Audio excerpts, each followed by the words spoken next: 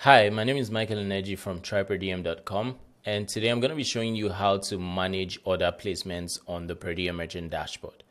So pretty much order placements allows you to manage how customers place their order um, on the mobile app. So if you want customers to be able to order in the future or you want them to only be able to order immediately um, or you want them to be able to order only for the current day, um, this is how you you set it up on the Per Diem dashboard.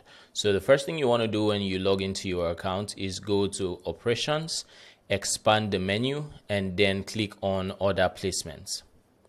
Now, once you come to order placements, um, by default, you're going to have the recommended setting, um, which is allow future orders. So what this does is that customers would have the option to choose a specific date and time in the future um, when placing an order.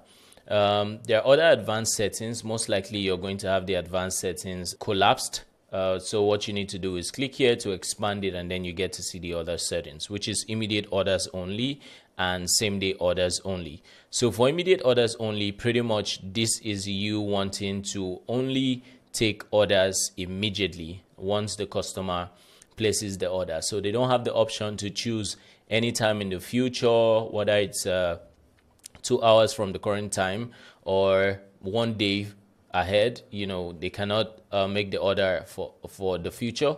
Um, and then the second option is the same day orders only. So for the same day orders only, pretty much customers can only place an order on the current day and they cannot uh, purchase anything in the future.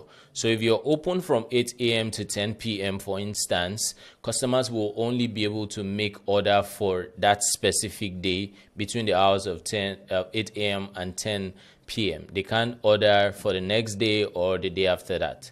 So depending on what your preference is, you pretty much can, you know, make the the adjustments here. So you can either select any of them and all you have to do is just click on save and you're good to go.